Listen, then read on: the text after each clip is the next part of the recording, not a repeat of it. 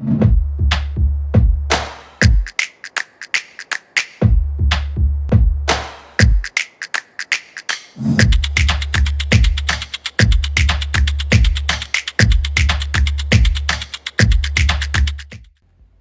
everyone. Today's demonstration is about web services and how to better manage them. So let's imagine that your company use Office 365 as your main co collaboration tool and you want the um, best out, out of it, uh, meaning that your user should have a really good quality of experience so that the productivity is at its best. So, let's see how you can do that with uh, SNS. So in SNS you have now uh, an official web service list. And we started it with the main uh, bandwidth hungry and principal uh, web application. And this list will grow over time with uh, automatic updates. So in our case, uh, we have the Exchange Online that is part of Office 365, uh, the Office 365 Common, uh, Skype for Business, uh, and so on.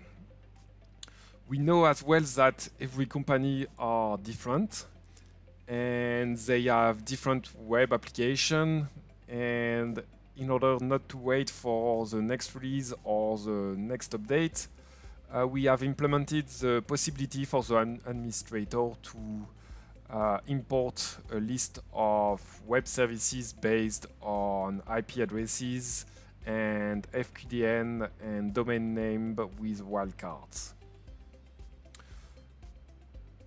So if we get back to the um, Office 365 and how to how to protect it. Um, we will move to the filtering panel uh, and to uh, fulfill the use case I have created the rules uh, as you can see on the top and integrated a group of web services uh, related to Office 365, uh, the common ones. Um, and for this specific rule, basically I applied the SD-WAN policy with the uh, priority SLA, meaning that we have uh, low latency, low jitter, and low packet loss for Office 365 to have the uh, better, uh, the best quality of experience. Um, in the same way, I applied uh, quality of service queue uh, with bandwidth reservation so that uh, users don't feel uh, any problem if we have uh, bandwidth saturation on all our internet links. Um, this rule as well allow to follow the Microsoft recommendation uh, so that the Office 365 traffic, which is uh, trusted traffic, uh, doesn't go through the proxy. Um, on the contrary to the rest of the traffic that will go to the proxy and be verified and security policies uh, will be applied uh, with a stronger focus. Um, on the same topic, uh, we know that Dropbox is used by a specific service in the company, so I created a specific rule for Dropbox. And basically, uh, we know that's not the priority and it's uh, low usage. So we applied the best effort SLA for the SD-WAN and we applied the quality of service to limit the traffic for Dropbox so that it doesn't impact the uh, Office 365 uh, principal uh, application. So the policy is applied. Let's see how we can verify that. So let's jump in the monitoring section and in the uh, network, tra network traffic logs. And basically, as you can see, all the traffic is classified with the known uh, web services, as you can see. And if we search for the Office 365, uh, you can see that we have our traffic that is classified. And in terms of rules, we apply the high priority rules that I just showed you uh, so that we have best SD-WAN SLA and best uh, QoS.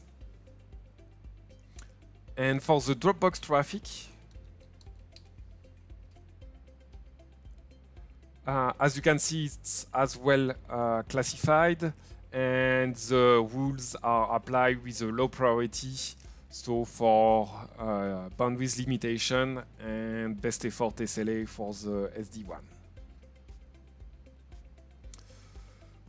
So let's finish with the visibility topic.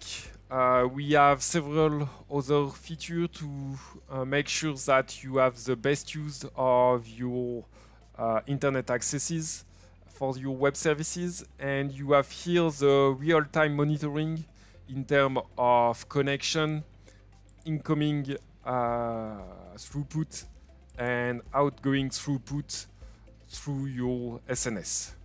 And as you can see, we have a lot of use of Office 365 uh, in this demonstration. So on a small scale, but still.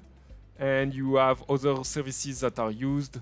And you can see in real time the update of the uh, graph.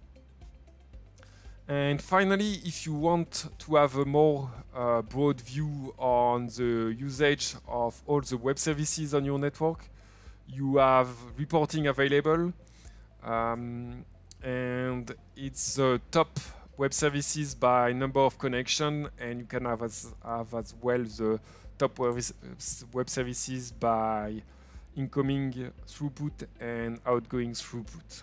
As you can see, uh, it shows all the web services on your network.